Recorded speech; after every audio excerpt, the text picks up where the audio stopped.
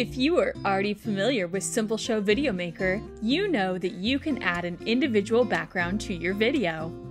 Starting today, you can personalize each scene with a different background, including our new animated background options.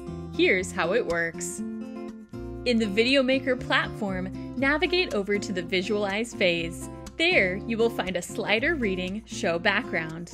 Click on it to enable the feature. This will take you to the scene overview. As you can see, simpleshow Video Maker offers you three types of backgrounds. You can fill the background with color, or upload a picture like this one here. Or you could choose one of our new templates. The orange stars at the bottom right corner indicate that the background is animated and will be moving in the final video. Click on the text icon to preview your script and make sure you like the background you selected. In the past, you could only add a single background to all scenes. Now, you can add different backgrounds scene by scene or on multiple scenes at once. Press Ctrl or Command to select multiple scenes.